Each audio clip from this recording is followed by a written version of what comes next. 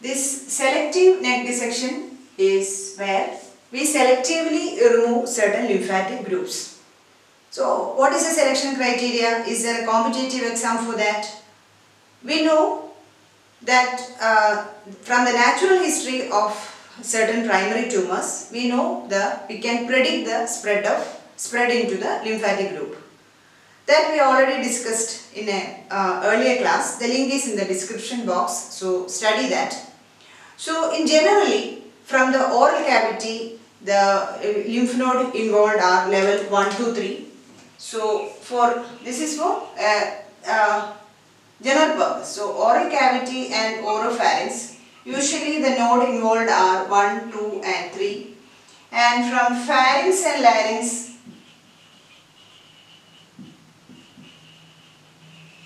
the node involved are 2, 3 and 4 levels, level 2, 3 and 4. Then from thyroid 4, 6 superior mediastinal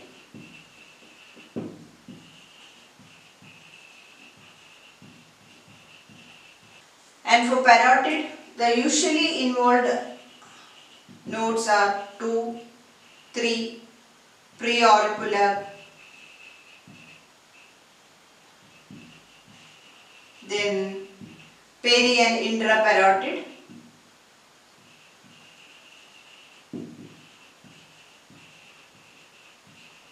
and the upper accessory chain. This preauricular accessory chain all the uh, recent modification of the naming includes even the preauricular. They are from uh, 8, 9 and 10 is also there that you should uh, study. The preauricular, peri, intraparotid and upper accessory chain. And for the sublingual and uh, submandibular uh, salivary gland areas, in nodal status 1, 2 and 3.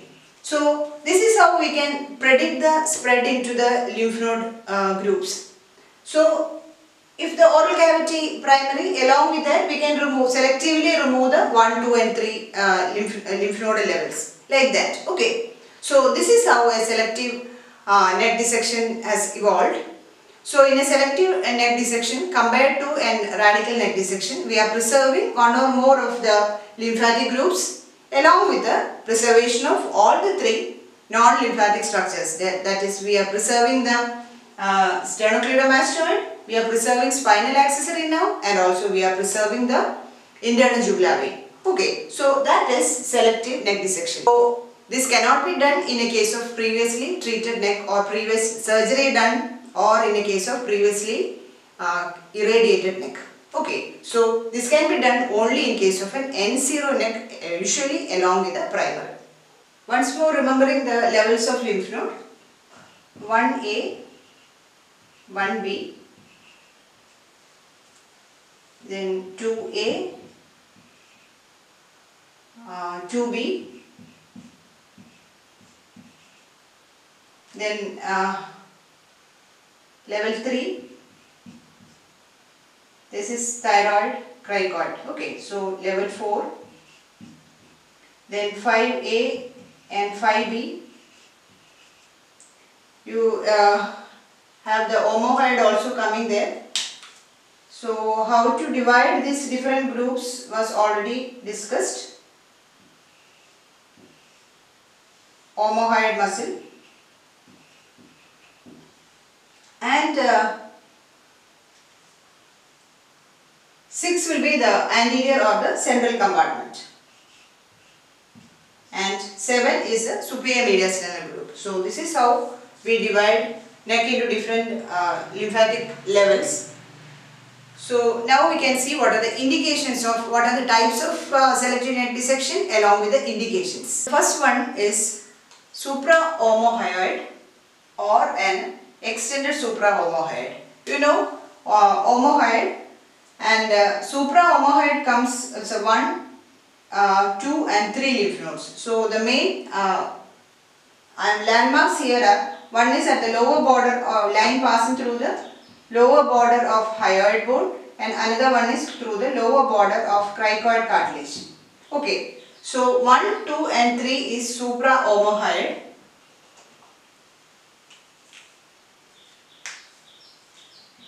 1, 2 and 3. This is usually done. What is the indication is mainly T1 to T4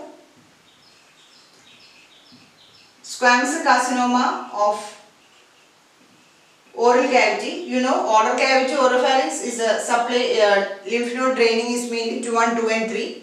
So the T1 to T4 squamous carcinoma oral cavity with the N0 neck.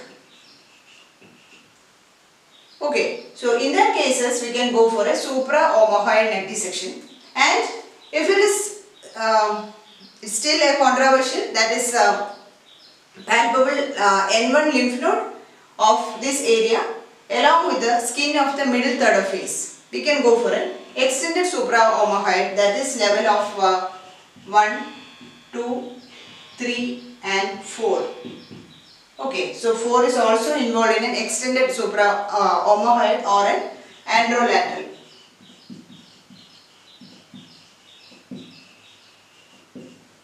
Okay, so and this anterolateral can also be done in case of skin, involvement. Melanoma or a squamous carcinoma of the skin in a line anterior to the tragus. Okay, the skin involving the line passing through anterior to, uh, line passing through tragus and anterior to that.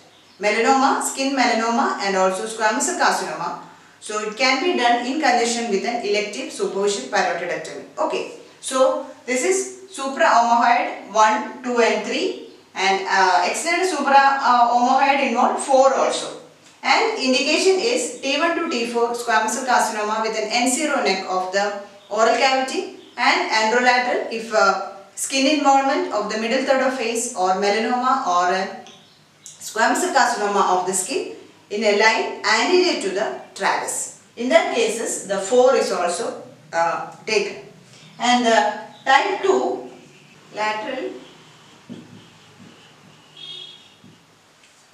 which all groups from this picture itself you can know that it is 2, 3 and 4.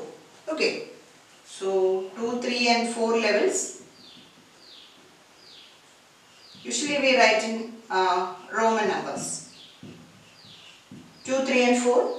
So I already told that 2, 3 and 4 mainly the larynx and pharynx is involved. So um, T2 to T4 larynx, oropharynx or hypopharynx with the N0 neck.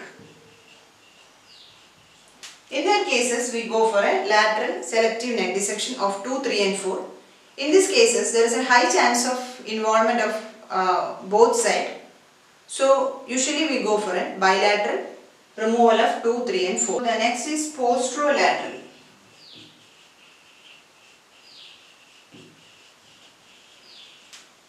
So, you know lateral is 2, 3 and 4. So posterolateral includes 2, 3, 4 and 5 also. Okay. So it is mainly 2, 3, 4, 5 and the main indication is uh, skin tumors. So along with this we remove the post-aural lymph nodes also. Okay. Post-aural nodes.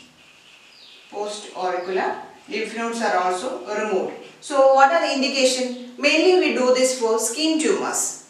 Skin uh, tumors uh, especially melanoma, squamous cell carcinoma and also Merkel cell tumors in a line posterior to the line of tragus or the posterior to the auricle, posterolateral neck and also the occipital region of the uh, scalp. Okay, so melanoma, squamous cell carcinoma and Merkel cell tumors of the skin involving posterior to the auricle, the posterior and the posterolateral aspect of the neck and also occipital part of the scalp. In their cases, we go with the posterolateral neck dissection. The next is anterior or the central compartment. So, you know it is level 6 involvement. Usually what is the main structure there? It is thyroid. So along with the for differentiated or uh, medullary carcinoma of thyroid, uh, basically we do for differentiated or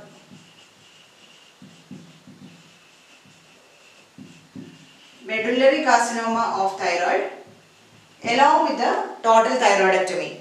Or this can be done uh, along with the lateral neck dissection that is along with the 2, 3 and 4 in case of a hypopharynx or subglottis. Tumors of hypopharynx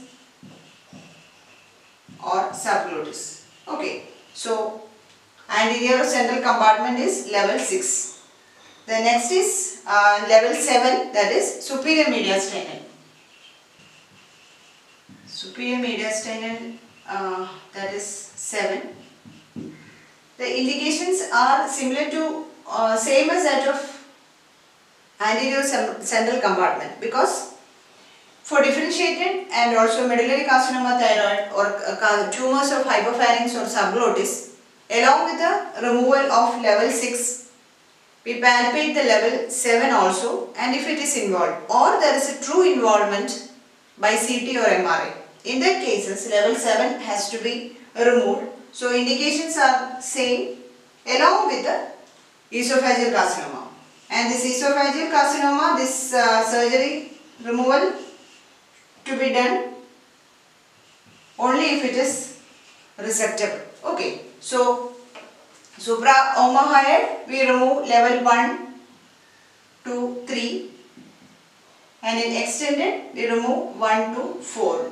Okay, in lateral it is 2 to 4, posterolateral it is 2 to 5 also, posterolateral, lateral lateral and posterior. To 2 to 5 and central is uh, level 6 and superior mediastinum it's level 7. So these are the indications for uh, different types of selective neck dissection. Regarding steps of surgery, the position, then the incision, then uh, elevation of the flap, removal of the fascia along the sternocleidomastoid, entering into respective uh, triangles are all similar to that of an, a radical or a modified radical neck dissection and uh, closure is also similar to that of a modified radical neck dissection and evidence shows that elective neck dissection is better than an elective irradiation in case of an N0 neck.